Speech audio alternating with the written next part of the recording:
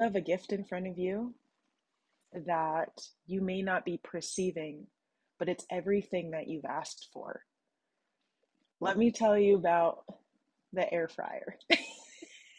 Why these two things go together?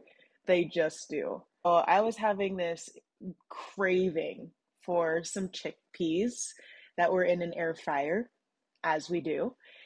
And I kept thinking, I want to get an air fryer. I don't have one. I don't specifically have one.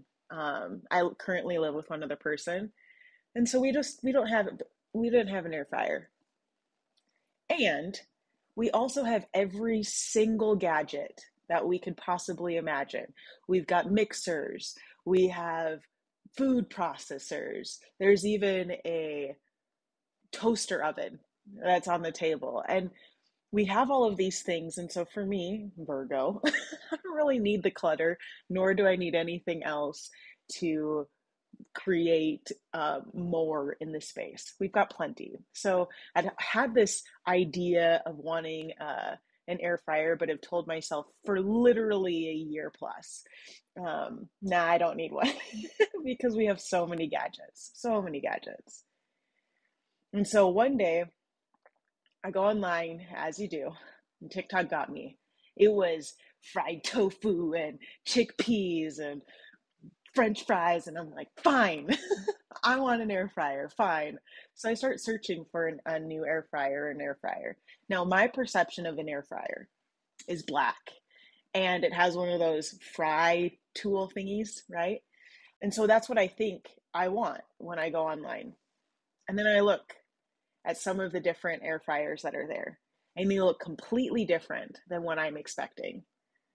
One being that looks exactly like the toaster oven that has been sitting in the same place for the last year plus on the counter.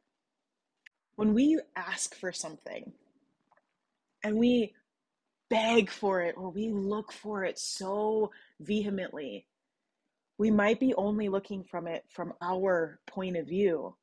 And there might be a better, more beautiful gift, right? The ones that I was looking on were like $78. And walking downstairs, I go check out the toaster oven. And it is one of the more expensive air fryers right there on the table, one that I've been asking for for years.